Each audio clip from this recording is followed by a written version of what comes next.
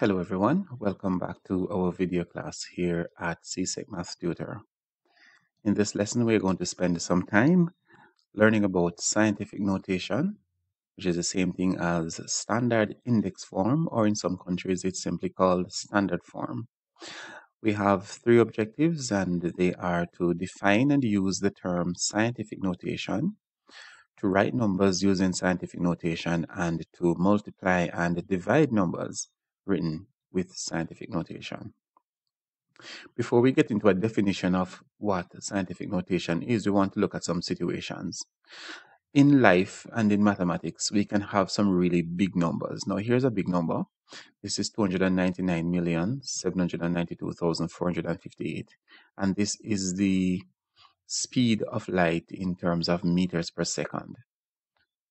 Sometimes this number is rounded up to 300 million meters per second. Now, if we look at how far light travels in an hour, that's in kilometers per hour, then this is the number that we get, which is a really much bigger number. And if we look at how far light travels in a year, then we get a really, really, really big number. We call this a light year. On the other side of numbers, sometimes we have really, really small numbers. So, for example, we have cells in our bodies, and suppose we wanted to find out what was the weight of one of our red blood cells. then the that number is given as 27 picograms, the weight of a, of a red blood cell. And when we write that out, um, one picogram is 10 to the negative 12. We'll get to that in a moment. When we write out that number, though, we get this number, and that's really, really, really small. Is a fraction. It's really, really, really small. So, on one hand, we have very, very big numbers, and on the other hand, we have very, very small numbers. Now, sometimes these numbers can be difficult to work with, especially after multiply and divide and uh, do other operations with them. And even with a calculator, sometimes they become very tedious to write. So, how do we fix this? Scientific notation was a technique or a method developed to handle large numbers like that, to write them in such a way so that they're easier to deal with. And so when we talk about scientific notation or standard form, we mean that we want to write a number in this form. A times 10 to the n, where the A is restricted to a number 1 to 9 point something. It can't be 10. It has to be within this range. From 1 to 10 can't be 10, but it can be 1. And n is an integer. Integers, you know, are negative or positive whole numbers. So a times 10 to the n, and the restriction is on your a is that the a has to fall from 1 to 9 point something. Now, 10 to the n, as you realize, are powers of 10, and powers of 10 are these. So we can have 10 to the 0, 10 to the 1, 10 to the 4, etc. And 10 to the 4 would mean 10,000, while we have 10 to the negative 1, 10 to the negative 4, etc. And these indicate fractions. The negative power here doesn't mean that it's a negative number. What it means is that it's actually a fraction. So um, how do we write numbers in standard form? And when we see, uh, uh, in this part, we're going to be looking at numbers that are bigger than 1. All right, so here we have 47,000 and we want to write this number in standard form or using scientific notation. The first thing we want to notice is that we want to find the decimal point. Now look at this number, you realize that the decimal point is not in the number. Um, that is because when we have a whole number like this, the decimal point is at the end of the number. That's important to note. We want, though, based on the restriction on our A, we want the number to be um, between 1 and 10. So we want one number before our decimal point. Right now, there are one, two, three, four, five numbers in front of our point, and we want one number in front of that point. So we're going to go ahead and stick the point there between these two. Now we have one number in front of the point, and that number is 4. Then we need to count the space between here. Um, how many digits do we have in between here and between these two points? And so in writing it in standard form, it becomes very simple. We write 4.7 and times 10 to the number of digits that we have in here. So we have 1, 2, 3, 4, and that becomes 10 to the fourth power. In, in writing numbers like these in standard form, um, we use a positive index because we're dealing with a number that is bigger than 1. All right, look at this one, 324,100. As usual, we're going to stick our point here because we want a number for our A that is um, within this range from 1 to 10. So we have 3.241. Let's put in our equal sign there. 3.241 and our decimal point would be at the back here. So how many spaces in between? 1, 2, 3, 4, 5. So this would be 3.4, 3.241 times 10 to the fifth power. Same thing for this. So our decimal point would normally be there and then what we want it here. And so one, two, three spaces. So we have 5 times 10 to the third power. And so that's how we write these in standard form. Let's look at this very big number that we had, which was the, the light year. And so because there's so many digits, it makes sense for us to round off a little bit or round it up to the nearest um, right here. So this number is 7, so we could write 1 here. And so we can stick our point right there between those two and get 9.461. Now our decimal point would be at the end of our number. And we want to see how many spaces are in between. So that's 3, 6, 9, 12, 15. So we'd write that times 10 to the 15th power. And this would be a shorter way to handle this type of number. Now suppose we have a number like this. Suppose we have um, 235.7 and we want to write this number in standard form or in um, scientific notation. So the point is here, but to get this number in standard form, we need to get our point here between the 2 and the 3. So we could write this down as 2.357 times 10 to the number of spaces here. Let's call the spaces. We have 1, 2, the digits 1, 2, 2 digits. So that's times 10 to the second power. And it doesn't matter exactly where the decimal point is, whether it's at the end or whether it's um, not at the end. Once we're dealing with a number that is bigger than 1, this is how we deal with it. Now let's look at numbers that are um, less than 1, numbers that are decimal fractions. So when we're dealing with decimal fractions, we use a negative integer for our power to indicate that we are dealing with uh, a, a fraction. Now, look at this number here. We want, this is our decimal point here, but we want our point to be here so that we only have one number before the point. Um, so that this will become 6.2, which means that it will land between here. So now we would write 6.2 and then we'd have to count the spaces between here and here.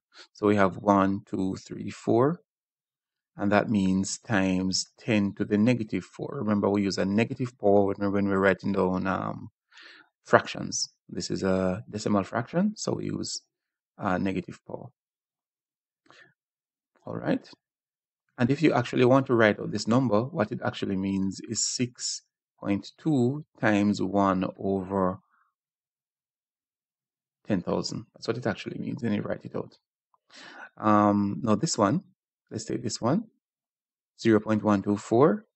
Of course, we would want our point to be here. And so we're going to have 1.24 times 10 to the minus 1. So it's pretty simple to write a number in standard form. Um, here we have 0 0.00007. We want our point to be there. And so we write 7 times 10 to the minus, um, how many spaces? 1, 2, 3, 4, 5. And so for the weight of our red blood cell right here, we would stick our point right there. That's where we want it to be. And then we go through and we count. So we have 2.7 times 10 to the how many spaces? 1, 2, 3, 4, 5, 6, 7, 8, 9, 10, 11. That's 10 to the negative 11, and that would be the mass of our red blood cell.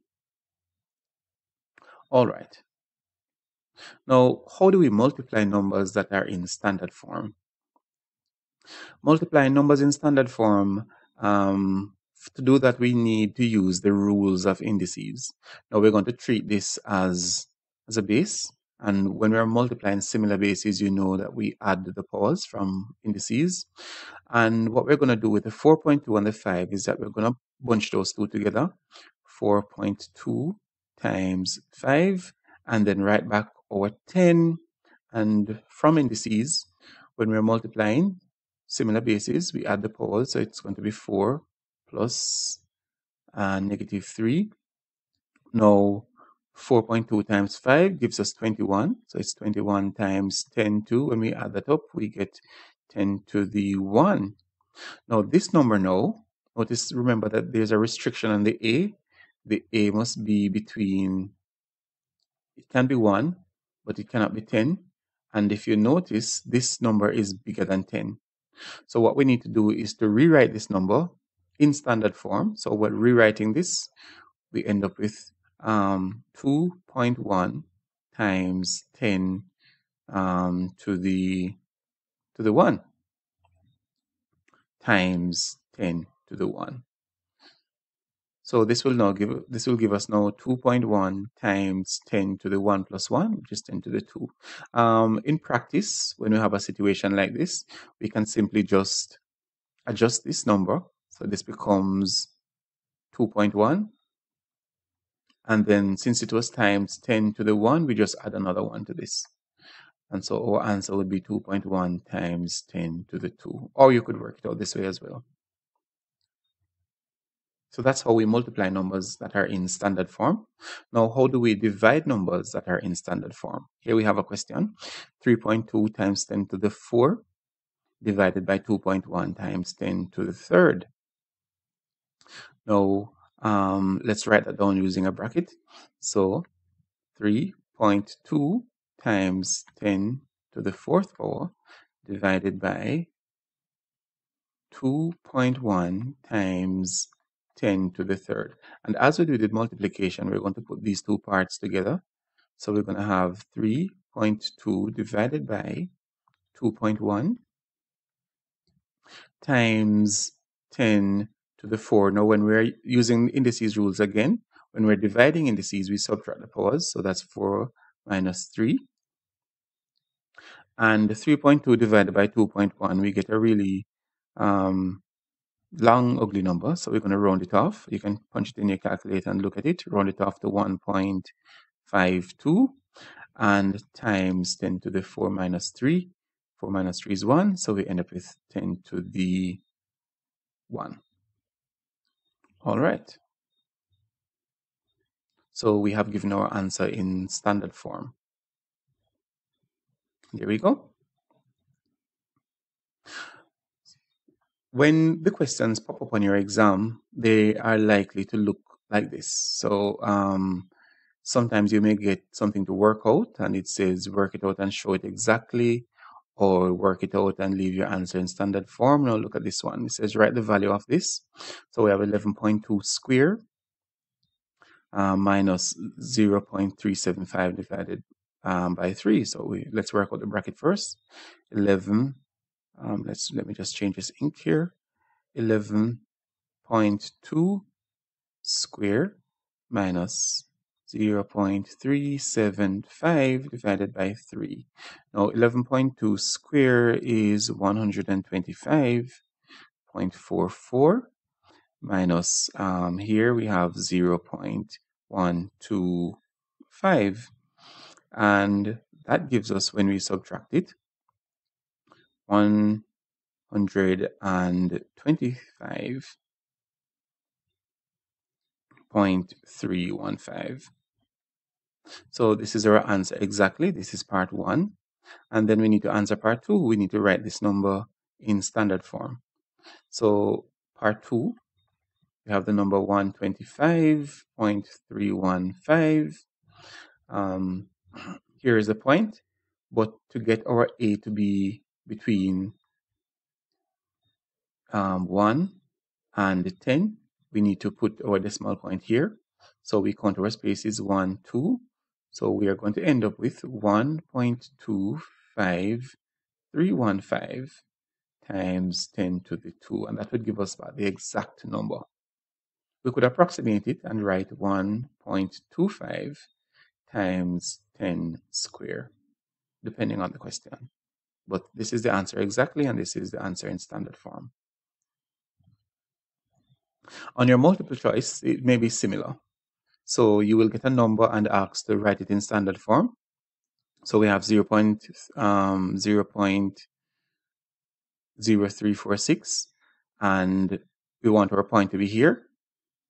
So we'd have to move two spaces in this direction or count two spaces in this direction, which gives us 3.46 times 10. Remember, it's a fraction, so we need to use a, um, a negative power, and that would be to the negative 2. And there we have our answer. Notice that we also have 3.46 to the second power if you didn't pay attention and you forgot the negative sign. So pay attention to these multiple choice questions. And sometimes it's just like that. Just they give you a number and just say, just write it in um in standard form in this case. Let's go again. Um, the point would be here. So it's 8.909 times 10 to the number of spaces, 1, 2 to the negative 2. So it's not a difficult topic to learn how to write numbers in standard form and how to use them. Let's look at uh, another question. Evaluate this expression and leave your answer in standard form. Now notice that this is saying um, 2.43 times 10 to the third. So let's work that out. 2.43 times 10 to the third minus 5.26 times 10 square and this means that we're going to multiply times 10 to the third which means 1000 minus 5.26 times 100 and this gives us 2430 minus 526 once you do that subtraction you end up with 1904 and that's the answer for that. For um, part one part a. And part b now says we are to write this number in standard form. So here we have our number 1904 and we want to write in standard form. Our point we want our point to be here. No this is a number with there's no point shown in this number so we know that the point is at the end but we want it to be here to satisfy the restrictions on our A. Remember, A has to be between 1 and 10. It can be 1, but it can't be 10, so we have to put our number there. So it becomes 1.904 times now how many spaces between here and here? How many digits? 1, 2, 3. So we count 3 and we write that. This number is bigger than 1, so here we use a positive um, in, integer. Remember that you can find more past and practice papers on our website at csecmathtutor.com or in the in the past papers pages and sections. Before you go, if you haven't subscribed already, please remember to subscribe and share this information with somebody who needs to learn this kind of thing. Thank you for watching and continue to work hard.